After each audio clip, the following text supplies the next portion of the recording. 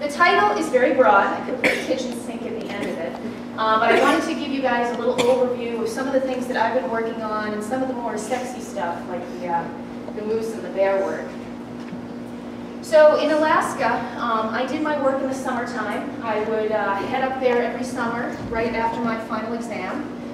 And unfortunately, I wasn't in one of the most attractive locations in Alaska, but it's hard to find one that's kind of unattractive but I was in the south central area, interior, uh, Game Management Unit 19D. It's in the town of McGrath, or village of McGrath, on the Kuskokwim River drainage, which you can see right here. A lot of confluences, large river basin, um, and really neat place to do work. And Alaska Department of Fish and Game were my collaborators. Uh, they had been doing a research project out here trying to determine why the moose density is so low. Uh, very important topic for them to understand, really know the nuts and bolts of what's causing that, uh, because it's important for their subsistence lifestyle out there. So the small villages surrounding McGrath, quite a few of them, uh, no roads in, no roads out, so you're basically driving around in ATVs and some beat up uh, clunkers. But you need to hunt to survive, so you need to have a healthy moose population out there. There's about 140 moose that were needed, about 80 were being uh, harvested during that time, so where's the discrepancy? Uh, this could be part of it. Alaska Department of Fish and Game around that same time predicted there were about five packs of wolves, 150 black bear, and 40 brown bear in the area. And so here are the major players that I want to introduce you to. In the lowland area of McGrath, there's only one major large herbivore, and that's the moose. There are no caribou here. So you can imagine with multiple predators, they're going to be pretty choosy about the quality and timing and, and, space use of that resource. So we've got our black bear, which typically prey on the young moose calves or those that are diseased, sick, and old. We've got our black bear, which will tend to go for the young as well as the adult. And then our gray wolf, which do the same thing as the um, black, uh, brown bear, uh, choosing both adults and juvenile um, of those animals. There's also some intraguild predation. So in terms of methodology, for the three summers that I went out, again, working closely with Fish and Game, they had collared about 50 adult moose, uh, cow moose, um, and because this is an area that has really dense stands of alder, and also willow and whatnot along the river, they typically will, will give yield to at least twins um, in this area. So these, these cow moose are going to give uh, quite a few moose calves onto the landscape during that period. So basically we would follow those collared, 50 collared animals right around the time that they're predicted to give birth, and we would go out with a helicopter and collar the moose calves. And then throughout the summer, we would then investigate any kind of moose calf mortality and take a look at who might have killed that particular animal. So in 2001, that's what we did. In 2002, we did the same thing, but additionally, we had about 20 GPS collars that we deployed on black bear in that area. There was enough kind of information that we had gathered from moose calf mortalities in a couple years prior that suggested that bear were the ones that we should be focusing on of keeping that moose calf density pretty low. So we put those collars on the black bear, again, followed the moose calf mortality during that period of time, and then my final year, went back out a little bit early this time, right before calving, caught as many bears as we possibly could. Most of them, well, many of them were my collared bear to get the collars back, look at the data. Um, but we relocated many of those bear northward um, many, many kilometers to a point unknown to me, and relocated them to give the moose calves a chance to make it through the winter that next year. So in terms of what we did on a daily basis, I basically would program in the VHF collar frequencies into um, this receiver. We would hook it up to a plane, this Piper Super Cub, and there's on the wing struts, you, you find, the, you can't really see it here with the lighting, but you would find the antenna. And so we get high enough so we could hear the signals, quicker pulse rate on the frequency if it was a dead calf. We then fly over, get a location, come back with our awesome uh, R-22 helicopter, and get as close as we could, land, and then hike into the mortality site. I know, tough life, huh? Um, so at that point, we would take the antenna off of the side of the helicopter and we would radio track in to a moose calf mortality site. And some of the things that I'd be looking for would be the carcass disposition. So how does it look? Um, are we basically finding a couple of bone fragments? Are we not seeing anything, not even the collar? Are we seeing hoof caps and a lot of the skin? A lot of that would determine which species we were looking at um, as the predator. Also, uh, I would be collecting any sort of hair that would be on the surrounding plants. So typically rose, which is common out there, a lot of brambles. So be able to capture a lot of the hair from some of those potential predators. And we'd go out within a day. So in terms of having another scavenger in there, chances were, were pretty unlikely. And oftentimes the predator was on site, so I was in there and done quick and back in the helicopter pretty, pretty uh, fast. And some scat as well, so again, signs of cooling pits, any sort of sign um, that would help indicate where the predator was. Now in terms of the capture of the uh, bear for the GPS collars, we would do that from the helicopter using helidarting techniques. And uh, then we would land and take some metrics on the animal while we were putting the collars on. Basically looking at condition, we'd be drawing blood for disease, we'd be weighing the animal to kind of get a feel, how are they doing in terms of consumption. We would be looking to pull a tooth, usually a back premolar, um, so that we could age the, animal, also look at tooth wear. We'd be measuring things like skull, um, cranial measurements, as well as foot length, and that sort of thing, putting collars on, and ear tags, colored ear tags, um, and ear flags actually, so that when you're flying ahead, uh, overhead, you're seeing orange in one side, it's like a flap of kind of vinyl, and uh, green in the other side, you can get a feel for what that animal was. Uh, and then tattooing finally, in case we lose those ear tags that have numbers, we have a numerical tattoo in green on their inside lip. And so we were interested to use this GPS data to determine whether or not these bear were honing in on moose calves during that time when they were born. Um, and so we wanted to look at a few things, location being one, also timing of kill. And we predicted that there would probably be a difference in the timing of the kill, and most likely a difference in where these animals were killing moose calves. And um, Oswald Schmitz came up with a nice term, I like it a lot, it's called habitat domain. And basically he wants us to consider not necessarily predators grouped together as one guild, behaving very similarly. He wanted us to kind of tease it apart and think about how these predators are killing. So for example, with black bear, how do they kill? You guys know anything about how bears kill? They stalk, yeah. So they'll be hiding, sit and wait predators. They'll, they'll take their time and then they'll stalk um, at a fairly close range, being stealthy. Whereas the wolf is a coursing predator. It's going to be chasing the prey off great distances. Um, and so perhaps there's some sort of a correlation there in, in their behavior and, and how they're managing. So in terms of timing, we used Kruskal-Wallis tests um, to get sort of a, a general feel for are these predators killing at different times.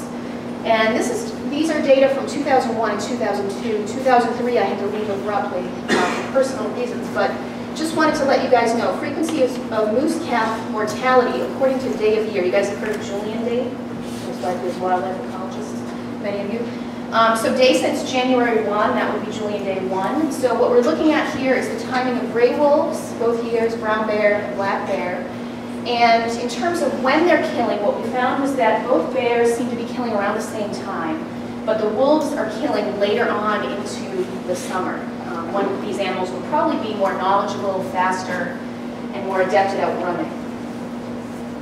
And when we looked closer at space use, from all those mortalities that we walked in on, a lot of the black bears were killing in mixed deciduous forests, really pretty areas actually.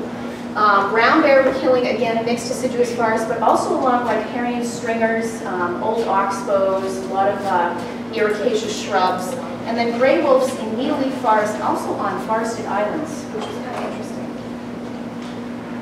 So again, just showing you the differences here. Uh, we're looking at a bunch of different habitat types, areas where we have no data. I mean, it's hard to get in remote locations, nice um, uh, land use clearinghouse kind of thing. Um, so we were lucky to have some information from Ducks Unlimited, uh, but we were limited with uh, how much coverage area we had.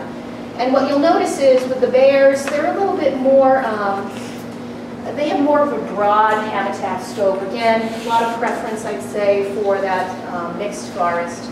But you're definitely seeing those wolves preferring that needle leaf forest. So again, we're seeing that separation between coursing and stalking predators. Now let's look closer at the GPS collar data and let's break it down according to date, even within that same day, where are they moving?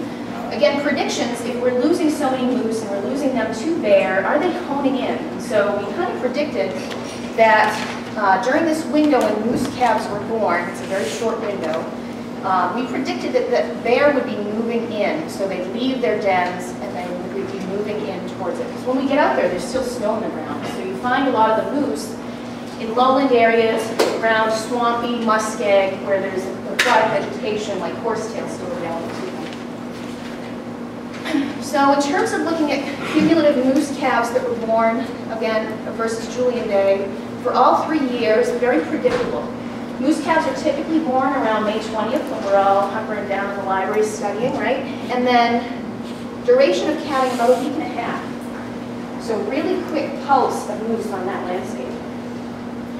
And if we were to break down movements of some of the animals, again, I tried to focus in an area where we had a lot of moose calves, so near the calving ground, so I didn't use all 20 animals, these are just six. But I've named them non-resident and resident, meaning where are the den sites? Are they in this calving area, are they outside of the calving area? So the non-residents were actually females and a young male, um, and they moved in from sort of leaving dens, bless you, down towards, that yellow represents timing of parturition, towards the calving area, and we're in the calving area right, right around the same. And then those that lived sort of within that, or denned within that area, had a couple of sallies, exploratory sallies outside prior to calving, but then they zoomed back in and were in the vicinity of calves during that period of time. So some interesting movement patterns, and some sex-specific movement patterns too. So how does this get into management? Um, you guys know the rationale, the impetus for the study, um, and there was something more on that, that final year that was done. With all the data collected, again, focusing on bear, knowing bear were the majority that were killing, uh, we handled, we went out there again earlier, before calves were born, handled 95 bear. So many of the black bear were helidarted, most of the grizzlies were um, leg hole snares and whatnot that they've used out in Alaska. And of the 95, here's the breakdown. 88 bears, again, relocated northward uh, to different areas prior to calving to give those animals, those moose calves, a chance to make it. So here's just kind of giving you an idea. This, the falls following uh, our work, 26 to 33% of calves were surviving. That's pretty slim pickings, right? So in terms of recruitment, we probably won't be seeing many of them make it through the winter, because what happens in the wintertime with these predators?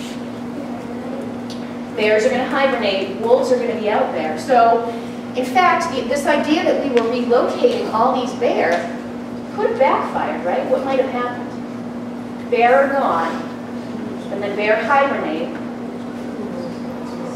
wolves could get voracious, right? They could just amp up their consumption rate and they could basically negate all the efforts that we had. Uh, but unfortunately what we saw, an increase, 64% of those calves alive so, you know, things were looking good. This is actually a hyperlink, I'm not going to go to it right now, but if you guys were interested in it, there is sort of a management report following to give you more information about it. So it was an effective adaptive management plan. Now, this is where I'm transitioning. So you can imagine that now moving on to these small liberal arts colleges, it's going to be a little tricky financially and also in terms of safety to get students involved, right? Very flashy, very fun stuff I was doing, but how are we going to equate this, uh, bring it back down to the level of a smaller institution? Well, I really was interested in the multiple predator, one prey or pulsed prey kind of system. And if you think about small mammals, there's quite a few within that guild. And we do have this pulsed prey resource that would be our nesting trees. So certainly I think small mammal research is ideal a wildlife setting. It can answer a lot of interesting questions, disease, and uh, predator management, that sort of thing. Um, rationale for the investigation with beech bark disease. So I was at, I guess I was at Colgate University at the time. So I was situated between the Catskills and the Adirondack Park, and thinking about what sort of research projects I might do. And I got to doing some reading, um, some work by those from the Institute for Ecosystem Studies on beech bark disease, and I thought, hmm, seems like a good spot to be in to do research at both of these sites. Now, knowing that uh, beech trees are a very important masting tree, important fall food resource for those mammals, I was curious what this disease that's pretty much in the aftermath phase in all of our forests was doing to the diversity of small mammals in various areas um, through the regions where I expected I'd be doing some research. Uh, there's a lot of other habitat ecosystem implications as a result of that. If you lose beech trees, you guys know anything about the beech leaf? You felt it, right? How's it feel in the fall compared to like a maple leaf? Easier to tear? A little thicker? It's harder to, to tear. It's a little thicker in a sense that it's got a lot of uh, lignin and whatnot in it. A lot harder to break down. So if we were to lose major beech trees, and what might regenerate might be red maple, it's going to change the composition in the soil, the breakdown, the leaf litter, duff, that sort of thing, and affect the invertebrates that are on the ground, which ultimately might affect shrews, right, other insectivores and other birds and whatnot that are down there. So there's a lot of implications for nutrient cycling, so a lot of reasons to look into this. So I know Dr. Evans has done a lot of work with beech bark disease, and you guys are probably familiar with it. But just as a reminder, up here we've got a range from 2005. Um, the green is the range of the beech tree. The pink represents, I believe, the Nectria fungus, and the red represents the Cryptococcus scale insect. So it's kind of a dual action punch here, this complex system that results in beech bark disease. But again, um, very important tree for many mammals as well as bird species and changing our uh, woods as we know it. So the nasty end here the advancing front, the Cryptococcus scale, if you guys go out and look at the nice smooth beech trees and see all the white flakiness on there, that's the Cryptococcus scale, leaving little holes, puncture marks that the Nectria fungus can then inhabit during the, what they call the killing front wave. That Nectria fungus is going to be in there doing its work uh, and basically cankering the tree and leaving behind a forest that's got split trunks and damaged canopy, um, a lot of beech thickets growing below, um, some stumps sprouting, but it's going to not look as beautiful as it once did. Now, the beech seed itself, very important, again, as I mentioned, to these small mammals. It is like a little mini Snickers bar that we get at Halloween that we don't want to share with anybody. Um, it's got lots of um, good stuff in it, low phenolics, right? So they're going to be easily digested as well as low ash. Um, a lot of nitrogen, a lot of fat, again, very good food. So if it's so good, how is it actually making it out in the woods? Any thoughts? What's the strategy? That seed morsel so delish. How is it making Yeah, swamping, satiation, doing exactly what our friends, the moose, did, right? So that's one way this tree is able to make it. So it's important that we understand what's going on with those seed predators. As I mentioned, there's a lot of vertebrate seed predators. We've kind of mentioned the small mammals, but also bear. You'll find bear kind of up in the branches eating those, those seeds. We've also got an invertebrate. There's a beech uh, moth that likes to uh, attack those delicious morsels as well. So important to understand what's going on with the predators, okay? Um, this is a study by Jensen that basically laid out a bunch of seeds um, to two different small mammals and watched which ones were taken first. Okay, so ideally this is their preference, right? And uh, for both species, uh, they really went after the beech and the, uh, the oak tree, the acorn, really quickly. So we know it's desired. So if it's desired, then how are we getting beech to regenerate at all? How is it making it there? You guys probably know from your forestry classes that most of the seeds that fall from trees are going to fall where? Far away? right under, right? Right under the parent tree. So really important for a seed predator to be able to disperse that far away. And even more important, to be able to cache it in a really good spot, nice moisture, coverage, that sort of thing, and then be forgetful, right? If you're a beech tree, you don't want to be consumed by that small mammal that's just cached you in its burrow. You want to be able to make it. So um, they count on these seed predators to eat some of them, but also to uh, forget some of them. And so typically when we see beech regenerating, it's usually only in a mass here and in areas where we do have a healthy small mammal population and, and where we don't see a lot of those trees. So the sites, um, I did some work in the Catskills. Some of you guys might have been out here, Frost Valley, um, it's a YMCA. So really important when I'm doing research with students to have access to a cafeteria, access to bathrooms and dorms and stuff like that. So a lot of the sites were picked as a result of that. We've got the YMCA up here in the Catskills. Um, up in Newcomb, you guys have probably been over to the Huntington Forest, another site there. Um, I work over near Miner Institute. In fact, I teach my wildlife class up there, uh, near the Altona Flat Rock. Uh, we have dorms and whatnot up there, so we set up some traps, as well as in the Green Mountains at Coolidge State Forest. So methodology, this was again work I did at Colgate University with numerous undergrads one summer. We went out and we set 100 traps in each of these sites and spent four nights at each site um, monitoring these traps. We also set up some seed traps, 20 big buckets, five gallon buckets, strung them from mature beech trees that we knew would be masting. They usually, usually mast as older trees and measured the diameter at breast height and the state of disease, so on a ranking of 1 to 5, which is given in the literature already, um, how diseased are they? We did that in the vicinity of that trap, in all cardinal directions, and then we did some analysis.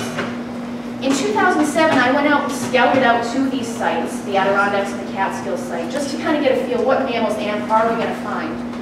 And what we found is a lot of uh, mice, Peromyscus species we found the summer of 2007 in the Adirondacks. Also, that's uh, we have our uh, redback vole as well.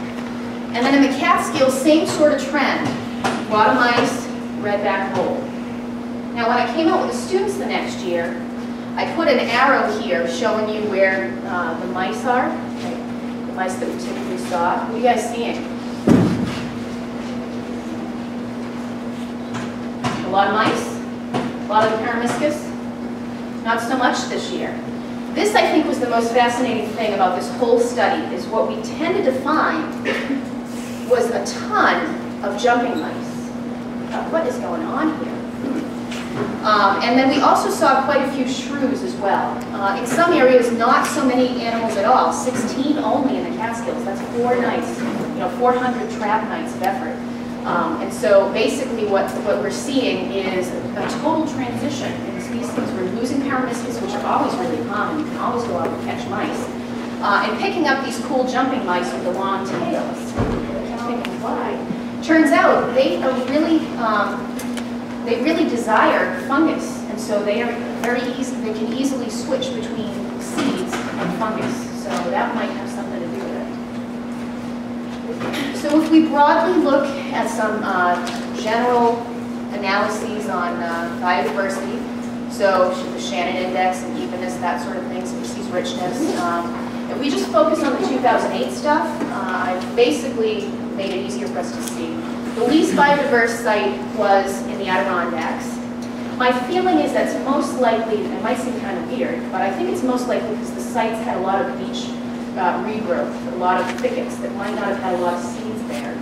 Um, and we might have seen uh, more shrews or some other species, but less biodiversity. And in the Champlain Valley, the most biodiverse site, I think it might have something to do with us being near the flat rock, two very different habitats, mixed forests, versus this uh, totally different jack pine barren habitat. So maybe we're seeing a little bit uh, of migration in there.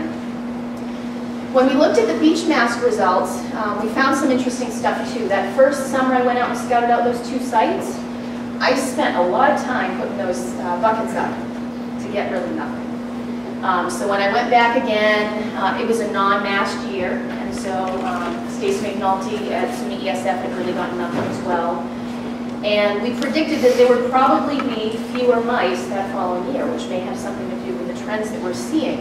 Uh, when we strung them in 2008, we went back in the fall to see what we got, uh, quite a difference there in the number of seeds that we were capturing. So we probably would have predicted last summer to see more Peromyscus again, those true seed predators as well. Um, but we weren't um, able to get back out there to do another set of sampling.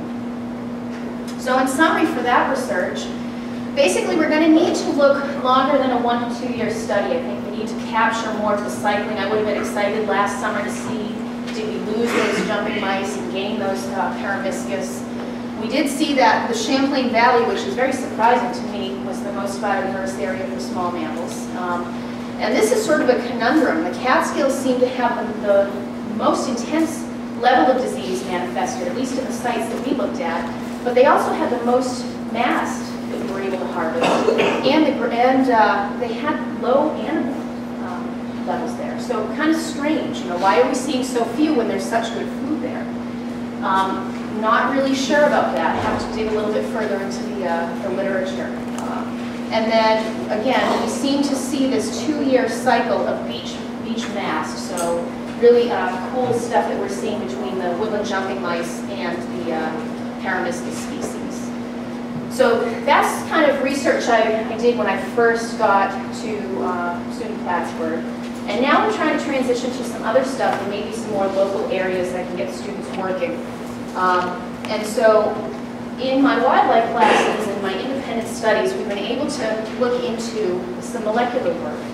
You guys probably know it's a little bit difficult in the wintertime unless we're doing murky snowshoe hare, which is common for you guys around here, um, and other uh, tree squirrels and whatnot. A lot of the animals go into hibernation. We don't see them again for a little bit. So I thought it'd be interesting to transition in the wintertime to more molecular studies, get some students involved in that. And so I used the Ecolog listserv. You guys heard of that? Okay, jot that down. It's a good place to, to find jobs and master's programs and that kind of thing. Um, you can join the listserv, you can take yourself off the listserv, you can search archives, but there's some really cool posts. Um, but I basically gave a shout out to the ecology realm. I basically said, does anybody have any, moose, mice carcasses, um, and whoops, and if so, can you send them to me? And so what I did get was some uh, carcasses shipped from Massachusetts and from Pennsylvania from a friend in grad school, and uh, we had some uh, saliva that we collected from mice during our studies in New York.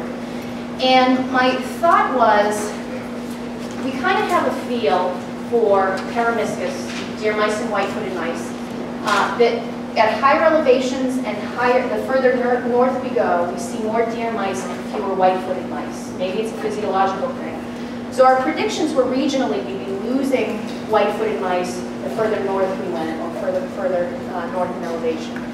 Um, but my major question is, can we really trust identification in the field of animals that look so similar? You guys have been out and captured mice, deer mice white-footed mice, they look really, really similar. And there's a couple of ways that um, the books suggest that you can identify them. Look at the tail coloration. If it's more blended between the white and the grayish-brown, tends to be a white-footed mice. Um, and if it's sort of a, a, distinct line, that it's going to be a deer mouse. Uh, look at the body length to tail ratio, that sort of thing, but they scrunch up. So it's really hard to, to figure out what it is in the field. So I said, hmm, how true are these field guides? Could we be getting it wrong all this time? Is it important for us to look molecularly as well? So by taking uh, the field IDs from the folks that capture the animals comparing it to molecular work that I'm going to talk about shortly, we were able to see that it is really important to do some molecular work as well. So, um, we had some students that were surveying some small mammals in uh, New York, um, specifically up in mixed forest and also on the flat rock. We got the uh, samples from Pennsylvania, Massachusetts, and here's just, in case you guys are wondering, how do I get saliva out of these mice? Um, we capture them in Sherman traps, which you're probably familiar with. We take a little capillary tube, so remembering chemistry, the tiny little straw that's made out of glass. So we'll give them a drink of water, once we've scrubbed them. And then we will draw out the water, the saliva as well, um, and then save that, freeze it, in Eppendorf tube for our work. Uh, we also nick a little bit of the tail because I'm continuing to do some molecular research um, to do PCR and ultimately sequence that to determine what species it was. But an even easier technique, although it's a little harder to read on a gel, is a salivary amylase gel on acetate. Have any of you guys done this? No? Um, these sorts of protein gels are done in some molecular labs, um, but they're not as widely done in the wildlife lab. So basically, you buy these precast gels, you rehydrate them. They've got a little bit of a plasticky sheen on the back, and they're not, they're really flimsy. Um, you take your saliva, you put it in a little stamping uh, unit here, you stamp it onto the gel. And then you hook that, and here's the stamper, it kind of shows you how, how we do it. You, you put it in a regular gel box for gel electrophoresis. You guys, how many of you guys have done a DNA gel, run PCR and that kind of thing? Some of you? Okay. So basically, it's a little unit, a plastic unit that has an elevated portion in the middle and two wells on either side. You put your buffer in there. Got some electrolytes in it. You plug it into power. And it basically runs your samples, whether it's DNA or if it's proteins, it'll run it down according to weight and charge. Now, these are saliva gels. It's a protein, an enzyme, right? What does saliva break down? You guys know? Carbohydrates, starch in particular, okay? So the idea with this gel is you stamp it, you run it out for 20 minutes um, with charge, and then you make a mixture of starch, cold starch, and agarose, which is the jelly kind of gelatinous stuff, and you sit it on top of that outside of the gel box for about 20 minutes. You rinse it off, and then you counter stain it in iodine. That's why it kind of at the end looks kind of a orangey color. And depending on where you see the band, that's where that enzyme from the saliva has broken down the starch that was sitting on top of it, okay? So the Peromyscus maniculatus, the deer mouse, has a little bit of a heavier um, molecule, okay? It doesn't run as far in the gel. Whereas the leucopus, the white-footed mouse, I always think leucopus low, it runs lower on the gel. So that's a really easy way for you to determine if that's deer mice or white-footed okay? So what we found was there's a lot of discrepancy out there. Now, if you lived in Massachusetts and you were working with this researcher, you were right on the money. Everything you said it was in the field was exactly what it showed up on, on the gel. Um, if you were in Pennsylvania, you really should do molecular work. Or maybe you had too many observers out there in the field giving their take on it. Um, the Little Chazy River Basin and Miner Experimental Forest, those are in New York. They're up in the Champlain Valley near where I work. And these are two different researchers that did it, so it could be an observer thing, but again, it gives reason to do these sorts of things. So if we were to, again, break it down, the white-footed mice is what we thought in the field, those Pennsylvania folks thought they were all white-footed mice. They were wrong. Most of them, trying to see the color, most of them were white-footed mice. In Massachusetts, they were on the money, and in New York, in general, in a riparian area, um, what we thought happened to be mostly leucopus, white-footed, ended up being mostly deer mice. So, that's not where it gets exciting. This is where it gets exciting, or at least I thought it did until this summer when we did more research. Um, we, we looked at the animals that they trapped just on those pavement the sandstone pavement barrens. How many of you guys have been up there? The flat rocks and Gadway and stuff? Really weird habitat, right? Glaciers came in, a lot of pressure, um, not much on the ground except the, the bedrock, the sandstone pavement, jack pine, ericaceous shrubs, mosses, lichen, that sort of thing. Really hot. Oh, I had class up there yesterday, it was sweltering. It's sweltering everywhere, but it was even worse. Um, and so what, what we saw was in the field, students weren't really sure. They thought it was a mix of stuff. Some of them they couldn't even ID, they just left in this sort of unknown Peromyscus. When we ran them out on the gel, all white-footed mice. Remember what we were saying about moving from south to north, that we would lose we lose the white-footed, gain more of the deer mice because they physiologically can handle more of the cold. Well, this is a really hot area, a little island of heat. So we thought, hmm, maybe there's something going on there. So this summer, I tasked a couple of students, Kayla Frenier and Whitney Wilson, to spend four consecutive days each month at two sites, the Gadway Barren up in Mooers, which is up by the Canadian border, and then the Altona Flat Rock, to trap um, about 50 animals uh, each during that period of time, collect saliva, run them out on gels. Now, they've only run one gel, and it was their first gel, so we're going to rerun it. Um, but it looked like there were two sets of bands. So what I was hoping was going to just be Leucopus, looks like there might be both species. So I'm not sure if it's because the, the collection that we ran out before was from the fall, and we had migration in and out of different species, or if this is, you know, this is some ephemeral summer thing um, where we're getting both species. I'm not 100% sure, but as we run more of these gels out this fall, we should be able to tell a little bit more. More recently, uh, what I'm doing is I'm looking at non-invasive techniques. I'm almost done. This is the last part. Um, you guys have probably done some of this stuff or read about some of this stuff, but basically not trying to harm the animals, picking up scat and hair and running gels, trying to determine what species it is. Really good stuff for corridor work. Um, the Split Rock, Split Rock Wildway is near where I live. From Willsboro over to Jay, can we see if these important mesocarnivores and carnivores are moving through corridor paths there? Um, these are track plates and hair snares uh, that students are going to be developing in my class and setting out.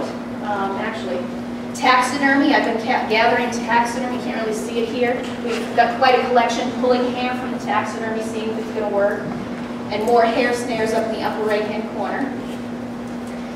So there's some really cool stuff that you can do if you guys have some of the equipment, um, and you can work with some of the other molecular labs to get the equipment. I got a grant from my school internally and was able to get um, some funding to do this. So there are some really neat kits out there from QIAGEN that'll allow you to extract from scat and from hair tissue, nails, that sort of thing, DNA. Really easy spin column. You take your sample, you add some buffers to it, you spin it down in a microcentrifuge, you decant off the liquid, and then in the end, there's a filter at the top of your little tube that's collecting DNA. The final wash drops it all down to the bottom, and here you have your DNA isolated. So when you run that out of the gel, you should see bands representing that you had a positive DNA extraction. So this is from scat that I collected in all of my excuse me, my travels, moose, an unknown sample that someone gave me, mice, chipmunks. You can collect it from your traps when you're doing stuff. Um, and then this is from hair. Now I sent a student down to the taxidermy uh, bins and had them pull hair, but I don't know if they pulled follicles. So all of our taxidermy didn't have an extraction that, that ran through positively. Um, we're going to try it again. It, it, could be, again, they didn't have follicle, but it also could be chemicals that these were preserved in. I don't know what it is because it's from like early 1900s. It could be nasty stuff inhibiting it.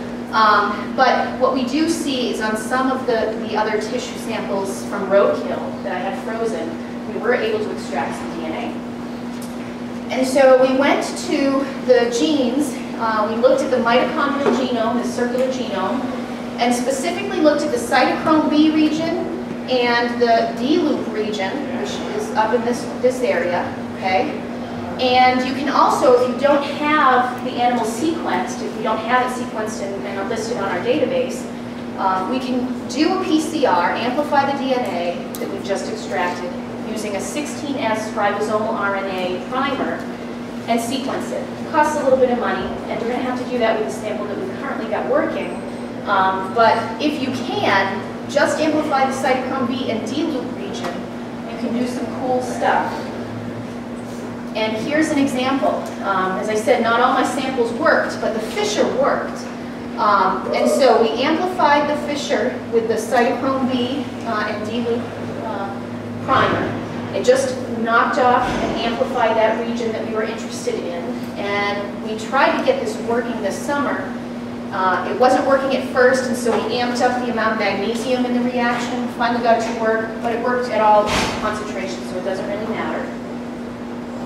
And once you've got that PCR on the cytochrome B, um, you can take that product and you can basically cut it with other enzymes. And this is the really cool part of it. So restriction enzymes will cleave your DNA at certain sites. So you know the A's, the C's, the T's, and the G's. Well, depending on what restriction enzyme you get, these are the examples of them, they cut at different sequences, okay? So I can choose a series of them, cut my product, and run it out on a gel, and I'll see different bands, okay? And I'll talk more about that. This is a gel showing you a coyote and then three different cats, bobcat, lynx, and uh, mountain lion. You can just do your PCR and run the gel, and you can see the bands are different. Canids run lower, the cats run the same. That, that PCR itself will tell you we have a, a canid or we have a cat, okay? But if you really want to know what cat you've got, you've got to cut it with an enzyme. So they chose to cut with one enzyme, and those three cats show different banding patterns, okay?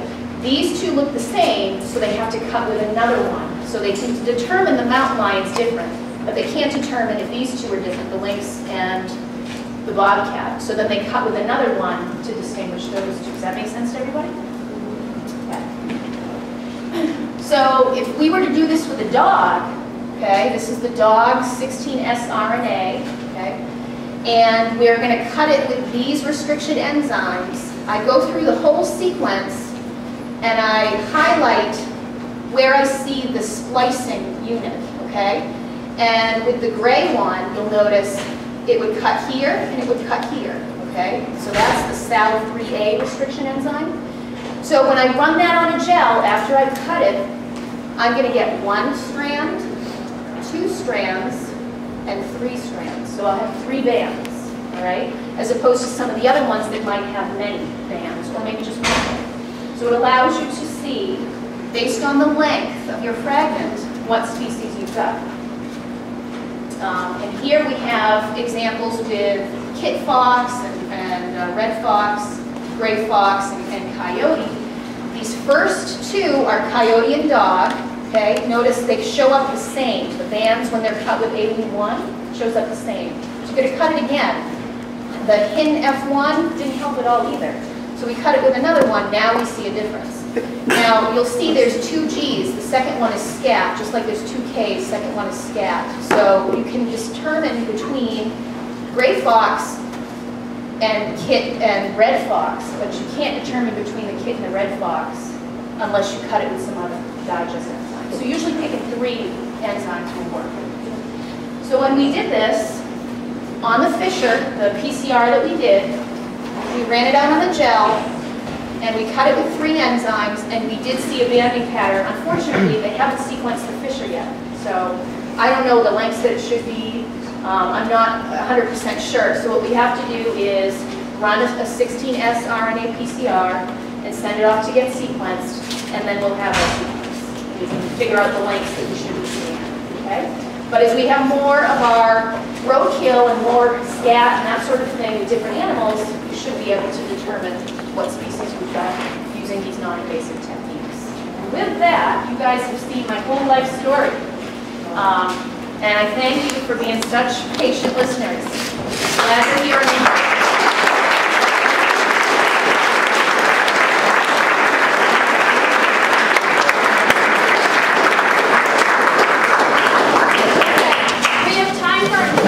questions, take about three questions, and then we'll wait and be in the room together with this whole package. We can, as we are trying to duck out questions. Hang tight, we'll do about three questions, and then we'll get the back to that. So first question.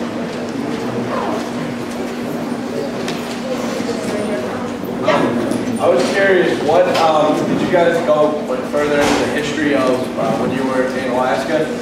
And uh, was there like, what was like the main cause behind the low number of calves? Was it like happened to come into the area?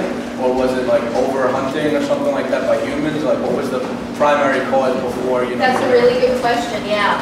Um, I haven't specifically looked at the hunting patterns back then. Other people have, Fish and Game have. Um, Fish and Wildlife, totally different organization, looked at habitat. They really thought that it was because there weren't a lot of fires there, the vegetation wasn't so good, that that was what was limiting the moose calves. Um, Fish and Game feels it's the predators. Everybody kind of has their own agenda, you guys know. Um, But I, I haven't really looked into uh, the, the history of it, but Fish and Game has. So my kind of interest was helping with the, the uh, mortalities and then looking at the bear movement, doing sort of that fine scale analysis. And they were the ones that wrote up, wrote up a lot of the management stuff and looked historically at it. But I don't think hunting patterns have really changed all that often. I know what has changed is bounties on wolves over the years, um, allowing aerial hunting of wolves and that sort of thing. I know they don't typically hunt bear over there because um, it's a lot of Native Americans. Bear are very spiritual to them. Um, When they're skinned, they look very human, and I can attest to that. They actually do kind of look human. Um, We've seen one of them skinned. So, and the meat is actually not really all that good. There's some disease that's in it. So usually when they hunt, they hunt to eat. So they don't typically go out and hunt to reduce the predators, even though they should. Let me just repeat, please, please stay seated. You will be out in time for your next class. So Don't worry, we're here for another five minutes. We will also get more questions. You'll get out plenty of time. Yep, in the back. It's you. Yep. Did any of the bears that you relocated ever go back? Yeah, good question. So crazy enough, um, we didn't have a lot of callers, but we had maybe 25 callers. Within three days, a large male swam across the Yukon, swam across the Kuskokwim, and came right back. So yeah, they come back. They want to come home, yeah. Were you ever afraid of just the lake natural cycle things up in the, the, um, the moose studies? Were you ever afraid of messing the natural cycle? Because you have that whole kind of great herd. Yeah. Were you ever afraid of there being like a huge population of moose not living in the Yep, as an ecologist, you know, you always think of those things. The situation in, in Alaska, especially where we were, um, it's, they consider it to be a predator pit. I don't know if you guys have ever heard that, but oftentimes when there's so many predators and such an intensity of predation on one species in particular, they can never recover unless some management is taken. Um, or unless we bring in caribou to have an alternative prey. Um, they're constantly gonna get hit and never have a chance to. Or unless a fire happens and the bear relocate, and we actually have had many fires up in that area since then, lightning strikes. Yep, and back. Are there uh, similar problems in areas of Alaska where they have a uh, caribou population but no moose population? Uh, with no moose, caribou with no moose? You know, that's a really good question. Um, I think they're pretty, except in areas like where we are, where there's a ton of muskeg, I think you usually find both, or at least within the area. Uh, the caribou are often on a little bit higher elevation, um, and so even in the, in the cities, Anchorage and whatnot, there are quite a few mountains in that area where there are some smaller populations of caribou. I know you out of this that you talking about when you were the bears out, you were worried that the wolves might change their behavior because now it's a. Did you see a shift in the wolf behavior, or did they seem constant even though the bears have been? Seemed constant, yeah, they had some collars on wolves as well. Thank you all for your attention and your um, questions.